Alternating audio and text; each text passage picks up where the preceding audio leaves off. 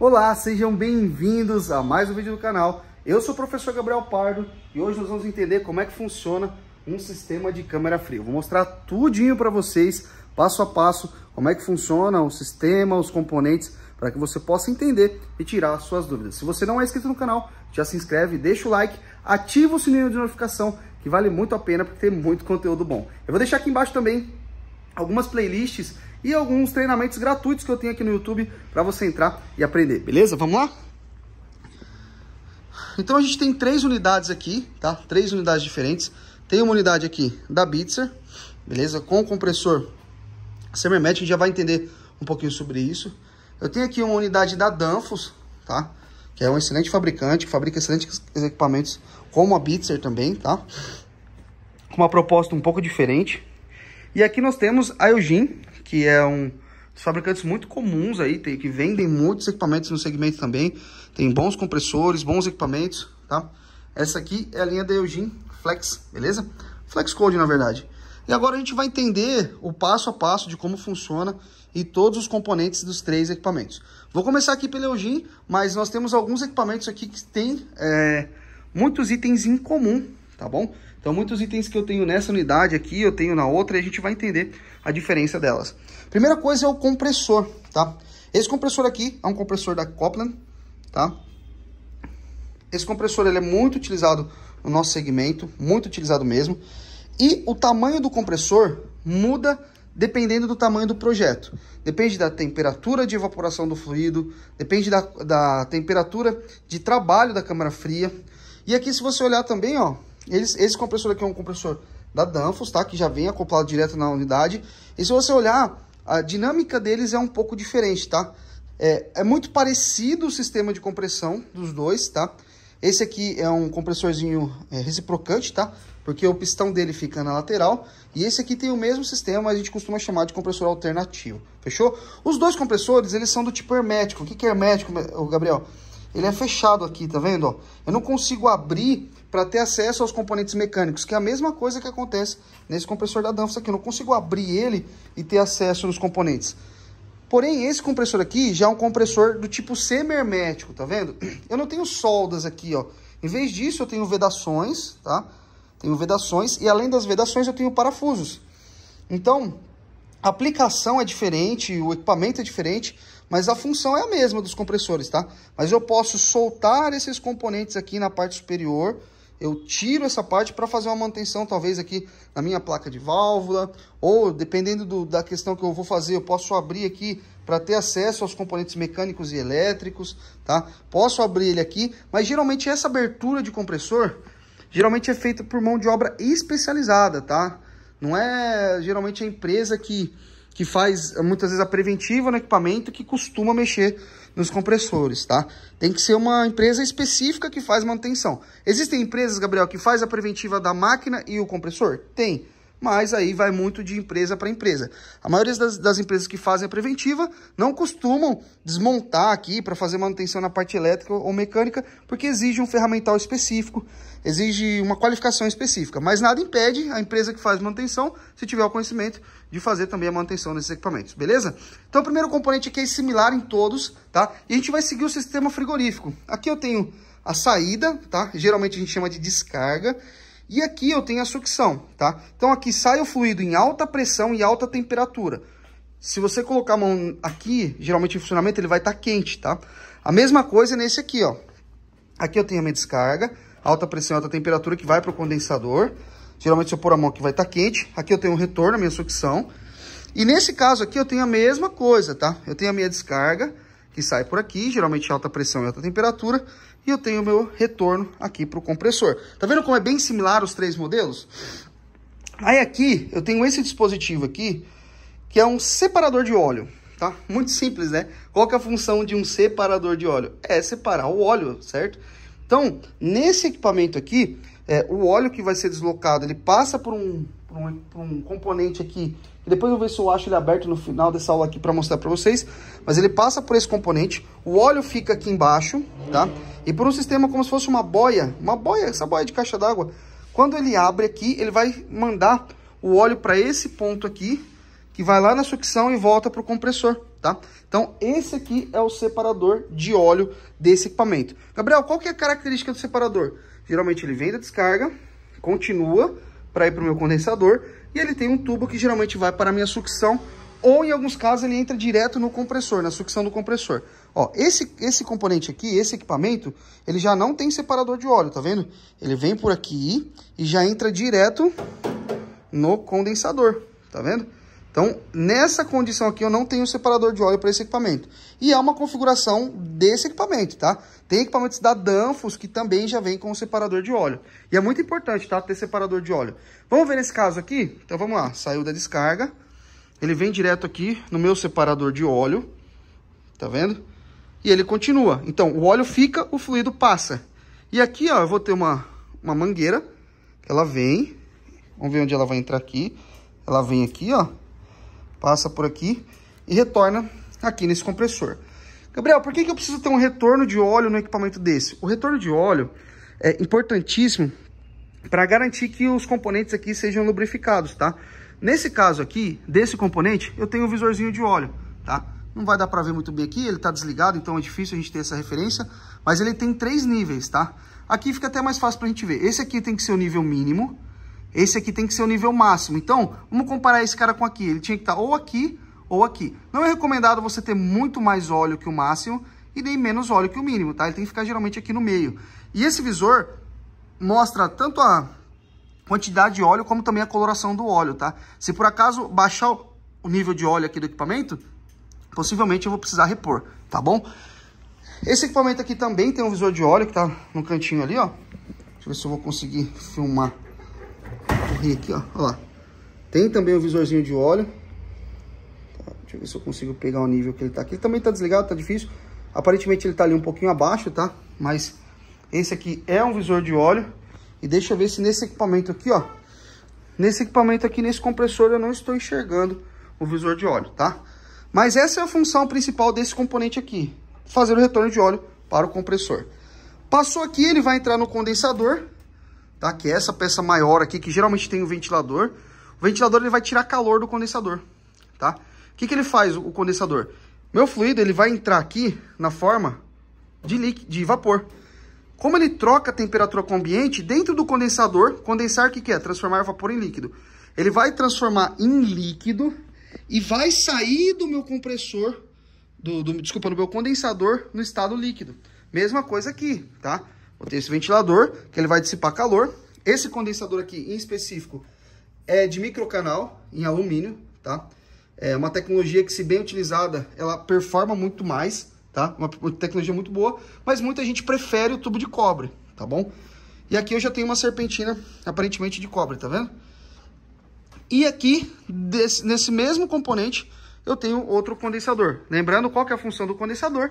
Transformar fluido de vapor para líquido através da é, dissipação de calor. Ele vai remover calor através do ventilador, beleza? Tá ficando bem tranquilo para vocês aí? E agora, depois que ele passa, nós temos um componente, que é esse aqui, tá? Muito importante a gente entender esse componente aqui, que a função dele é acumular líquido, tá? Então ele entra por aqui, passa pelos tubos ali e sai, deixa eu ver se eu consigo pegar, ele sai por aqui, ó sai por aqui e entra nesse dispositivo. Esse aqui é o acumulador de líquido, tá? Função desse componente aqui, o nome já diz, é acumular fluido refrigerante da forma líquida. Aqui ele tem como se fosse um pescador, tá vendo? Dentro dessa conexão aqui, ele tem como se fosse um pescador que pega o fluido aqui embaixo. Então ele puxa o líquido aqui de baixo e o vapor fica em cima, tá bom? Uma coisa interessante é que esse dispositivo aqui, ó, tem esse, esse parafusinho, mas na verdade isso aqui é um plug fusível, tá? Se a pressão e a temperatura exceder o padrão, isso aqui abre e dispensa é, a, todo o fluido que tem aí para evitar a ruptura desse vaso, tá bom? Então esse tem aqui o nosso acumulador de líquido. Olha aqui, eu também tenho um aqui, ó, com o mesmo sistema de plug fusível, tá vendo? Tá aqui. E esse aqui eu também tenho. Aqui eu já tenho uma válvula, né? Essa aqui é uma essa aqui já é uma, uma válvula, tá? Uma válvula de segurança. É que tem a mesma função do plug fusível, tá? Se exceder a pressão, em vez dele romper esse vaso, explodir ele, ele abre e joga o fluido para fora, tá bom? Tá vendo que legal? Outra coisa que é bem interessante, depois que ele passa por esse componente, ele vai passar por esse componente aqui que é o filtro secador. E o visor de líquido. Filtro secador, função. Se eu tiver sujidades, particulados, ou alguma coisa que pode obstruir o meu sistema para frente, esse componente aqui, ele para, tá? Ele vai é, segurar como se fosse uma peneira aqui, vamos, vamos entender assim. Então, ele segura os particulados. E se eu tiver uma certa concentração de umidade, ele consegue reter, tá? Aqui eu tenho um filtro secador, nesse caso aqui é um da Danfoss. Nesse caso aqui também é um filtro secador da Danfoss, tá vendo? Com o mesmo sistema, ó, sai de lá, entra no filtro secador, depois passa pelo visor de líquido, já fala sobre o visor. E nesse caso aqui, ó, é a mesma coisa, tá? Só que esse aqui é um filtro secador, se não me engano, da Hack. Deixa eu ver se eu... Isso, é um filtro secador da Hack, beleza? Que tem a mesma função, tá? A função dele é reter particulados e umidade, tá bom? Belezinha? E aí, ele também vem para o visor de líquido. Aqui está interrompido, tá? Porque isso aqui é uma unidade didática. Mas aqui eu tenho o meu visor de líquido. Função do visor de líquido, tá vendo? Aqui ele mostra se o meu sistema está com umidade ou não. Se ele tiver é, amarelo, significa que ele está com umidade. Mas se olhar, tá verdinho, tá vendo? Ou seja, ele não tem umidade aqui na linha, beleza? Aqui eu tenho outro visor, nesse caso aqui, no mesmo sistema, tá?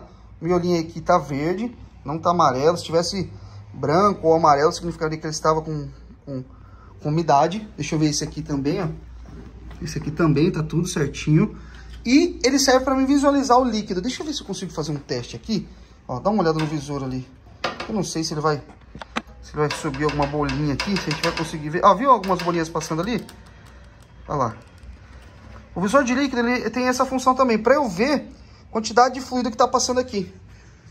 Geralmente o visor de líquido ele tem que estar tá preenchido, ele não pode estar tá borbulhando muito, porque é sinal que está passando fluido refrigerante da forma de vapor para minha linha, tá?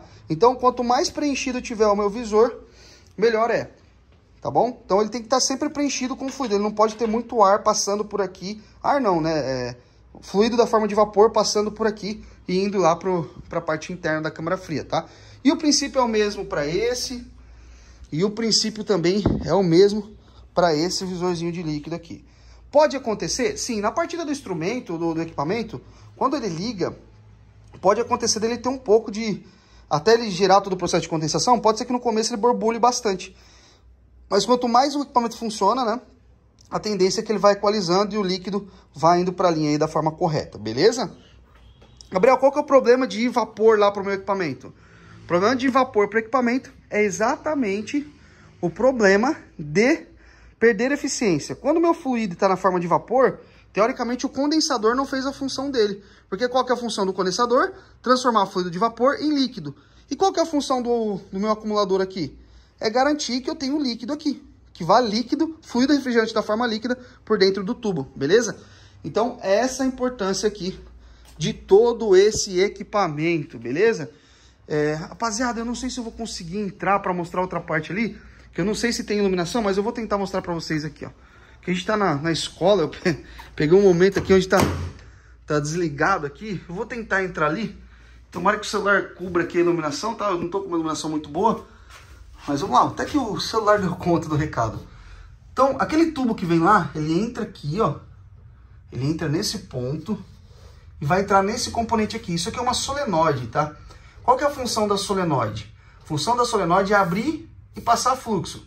Então, toda vez que eu alimento ou que eu desalimento ela, dependendo da solenoide, a partir do momento que eu aplico tensão aqui, ela abre e deixa o meu fluido passar para ir para a válvula de expansão, tá? A válvula de expansão, qual que é a função principal da válvula? Reduzir pressão e temperatura do meu fluido. Então, ela vem aqui, ó, em fluido da forma líquida, em alta pressão e alta temperatura, ó. Obrigado, professor Adriano aí já deu uma força pra gente aqui, tamo junto. Então, ele vem aqui em fluido é, em alta pressão e alta temperatura, automaticamente ele passa pelo elemento de expansão, ele vai diminuir a pressão e diminuir a temperatura do fluido para entrar no evaporador, tá?